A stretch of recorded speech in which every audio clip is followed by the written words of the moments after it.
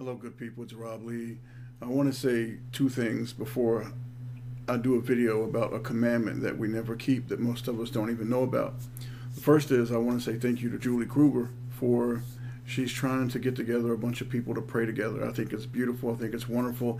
I don't know much about it. I haven't talked to Julie personally, but I think it's wonderful, and I hope that many of you, many of you, will participate. I have told you over and over how important it is to pray and to pray in unison and to pray together. It's incredibly important, and I think the Father moved Julie to do that. The second thing I want to say is, is that a guy came to the channel making numerous comments about forgiveness, forgiveness, forgiveness, and his name was Stephen Hearts, something like that. And this person actually said that we should forgive the devil and his children. Now, I don't know who this boy is, but I do know that he sows discord among brethren. He's he's a he's a he's a shyster. He's shady. And that's what he's there to do, and he does this behind the cloak of Jesus Christ. I've always told you folks that the most dangerous and evil tricksters are those who hide behind the name of Jesus Christ. Now, this guy always struck me as anti-white. And then my friend Ace verified what I had actually thought. So I took it as a sign from the Father, but it moved me. And it seems that this guy, Thief of Hearts, that he supports La Raza, which is a Mexican group that is very, very anti-white, and they have even called for the death of the gringo, which is us. So this boy, and emphasis on boy, has moved me to finally do a video in depth about Israel. Now, I've never done it. I have alluded to it, and I have told you who we are, but I've never actually taught it and I would like to teach it in a way that will glorify the Father, that will glorify Jesus Christ, but it will help you to, if you had to teach it to somebody else, once you know it, you would be able to do it. Because anybody can teach and teach and teach and, and just end up talking to glorify themselves. But you want to simplify something so somebody else can teach it if they have to. That's the idea. I don't take any credit for it because what I get comes directly from my Father. I want to give you a very quick history lesson before we talk about the commandment that we never keep. The Moors conquered southern Spain. Now, the majority of the Israelites who were living in southern Spain, they fled to northern Spain. The Moors were a mixed family of Canaanites, and the Canaanites were the children of the devil, and they injected their demonic seed into southern Spain. So what happened? Well, the southern Spaniards turned around and went to Mexico. Folks, it was the explorers of southern Spain who turned around and did the same thing to Mexico. Now, do you see how the seed of the serpent spreads around this earth? How easy it is. Now, I'm not saying every person in Mexico is of the devil, but I think you get my point. And thieving hearts, I think you get my point. So now, on to the commandment that we never keep. May our Father be given the honor he is due, which is long overdue the commandment of the Almighty Father that we never obey. We true followers of Jesus Christ endeavor to obey what our Father tells us to do or not do. He says, don't steal, we don't steal. Jesus Christ said to love one another, and we try really hard to love one another.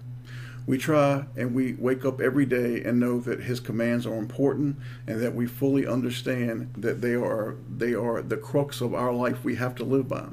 But there's one commandment that we seldom, if ever, obey. In fact, most of us don't even know about it.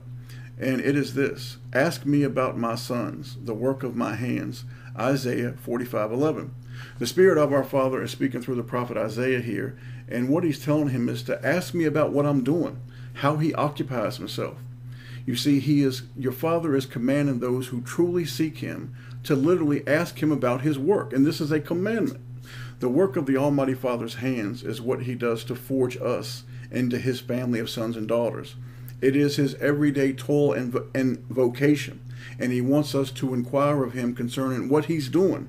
It is so important to him, to your father, that he is commanding his children to ask me about the work of my hands, ask me about our family. And that work, people, that your father does is making sons and daughters of the kingdom. His children are his heirs his royal offspring who will rule with Jesus Christ during his thousand year reign here on earth. The Almighty Father is a worker. Your father is a worker. He is depicted in the scriptures as a workman working with his hands. He is the master builder who laid the foundation of his house. He is the potter sitting at the wheel, working the clay, which is who? That's us, into vessels of honor and or dishonor. His sons and daughters are the election, his chosen ones. He says they will go on to perfection and to full spiritual maturity, just like our example and our kinsman redeemer, Kinsman is in same kind, kinsman, redeemer, Jesus Christ. Now, with the Almighty Father, we can walk this higher walk, and nothing shall be impossible to those who believe. We are more than conquerors through him that, that loves us, Jesus Christ. Romans 8 37. But we must pray for Asaph that we may see for the blindness.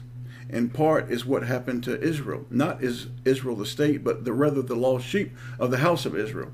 Only in, in the world right now, only a small remnant of Israel can see the plan of our Father, what He is doing, the molding and the shaping that He's doing in us, our offspring. And sometimes this molding and this shaping can be painful. Sometimes it hurts. It hurts a lot.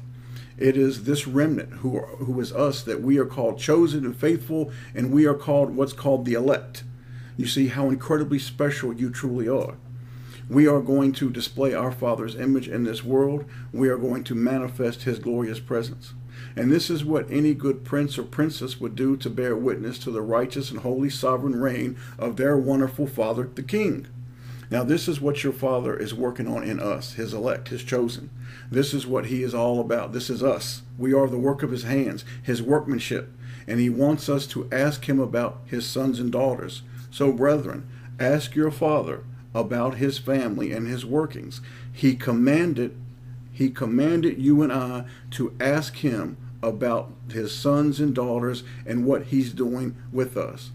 He loves us enough that he wants us to understand. Think about that. The Almighty Creator wants you to pray to him and ask him, Father, teach me more about you and about our family. And he went so far as to say, Command me.